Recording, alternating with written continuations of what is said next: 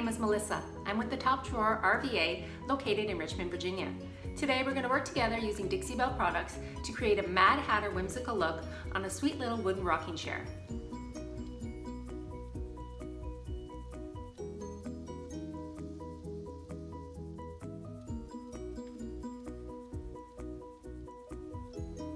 To begin with, we're going to talk about proper preparation in order to chalk paint your piece.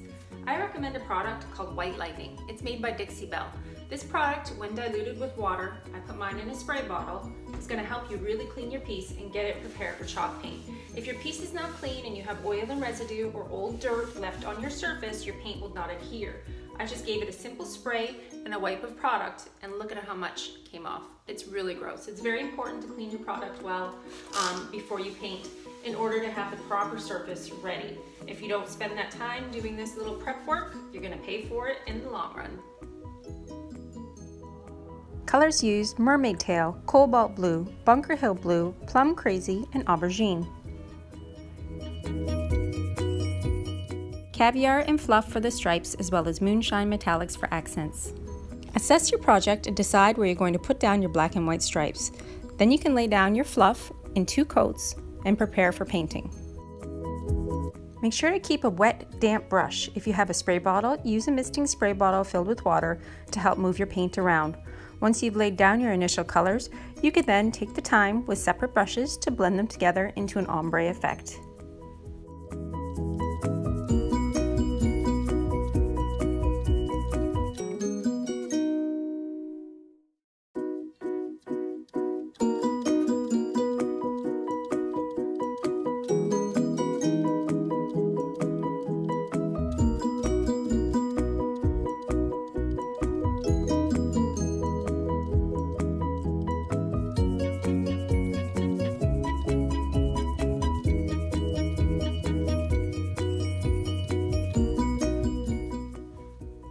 Using painter's tape, lay out your stripes on top of the white fluff paint.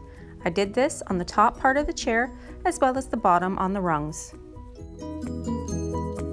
Using black caviar, I applied it to the areas where the tape was not.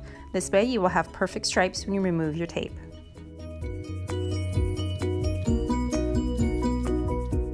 Using a small brush, I accented in Moonshine Metallics Gold Digger, as well as a small area with the black caviar on the front. Once your paint has dried, remove your tape and touch up any edges.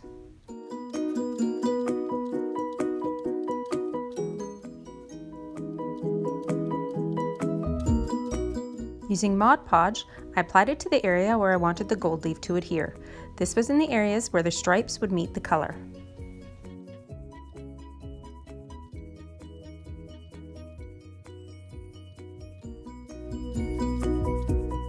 Using a wax brush and Best Dang Wax and Clear, I use this to seal the entire piece.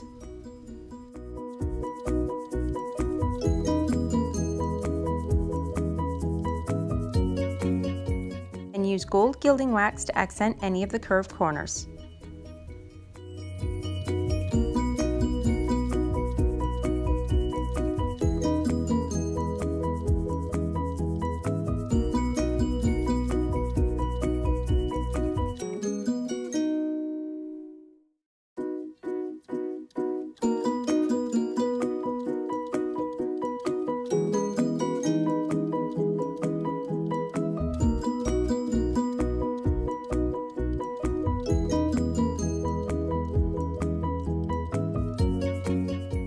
If you would like to try your own Dixie Belle paint products, I'm including a link in the comments below as well as the intro.